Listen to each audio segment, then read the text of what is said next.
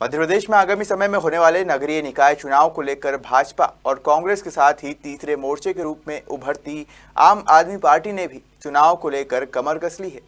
इंदौर के जिला पार्टी कार्यालय पर प्रदेश अध्यक्ष व पर्यवेक्षक बुधवार को पहुँचे और चुनाव संबंधित जानकारियाँ दी।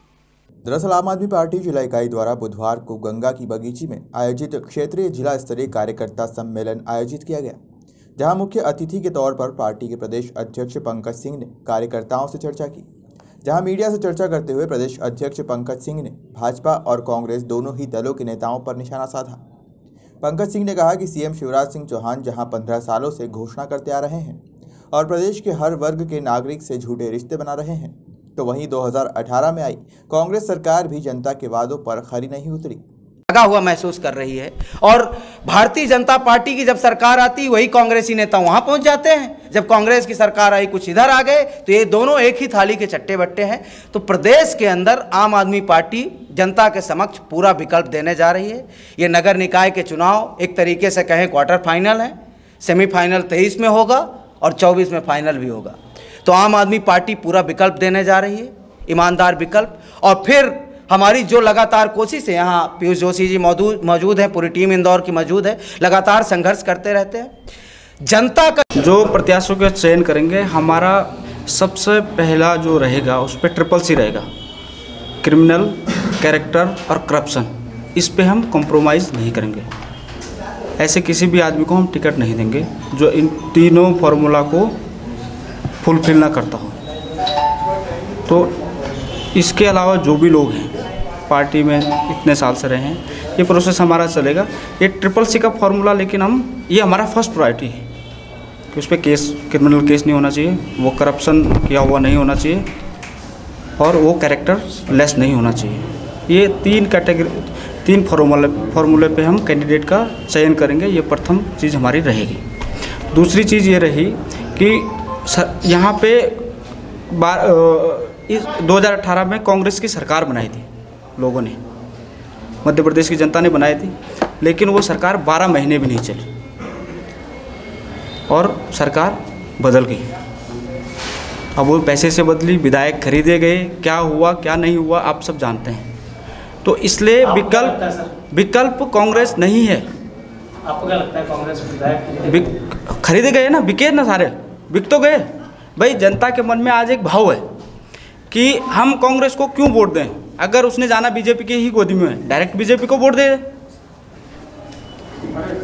तो कांग्रेस विकल्प नहीं है, विकल्प आम आदमी पार्टी है यहाँ पे।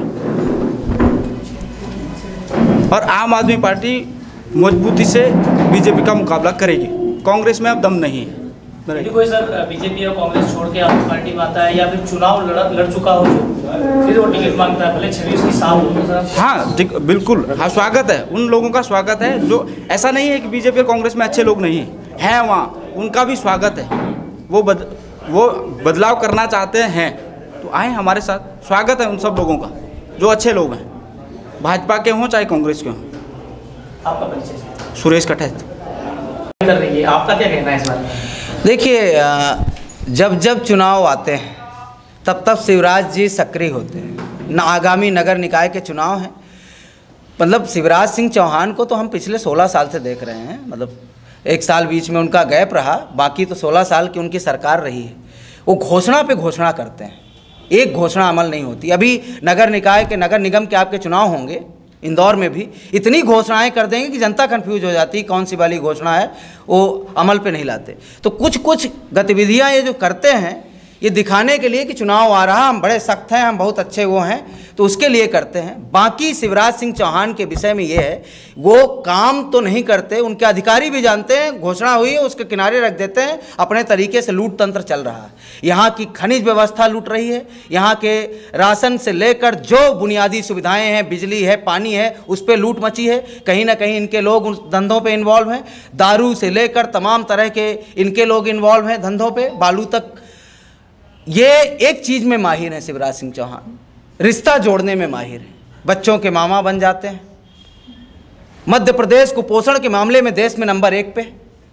जब बच्चों के मामा हैं तो ये बहनों के भाई बन जाते हैं। Crime record bureau, national crime record bureau बताता है कि मध्य प्रदेश महिला अत्याचार के मामले में देश में नंबर एक पहुँच रहा है। और ये किसान पुत्र बन जाते हैं जब किसानों के बीच में जाते हैं। किसानी बहुल इलाका है। पाँच किसान रोज आत्महत्या कर रहे हैं मध्य प्रदेश के अंदर। उनके शासनकाल में बीस हज़ार से ज़्यादा किसान आत्महत्या कर चुके हैं। और ये किसान पुत्र बन जाते हैं। तो इनके विषय में आम आदमी पार्टियों में एक लाइन ज़रूर कहना चाहूँगा कि प्रदेश के अंदर ऐसा कोई सगा नहीं जिसको शिवराज सिंह चौहान ने ठगा नहीं।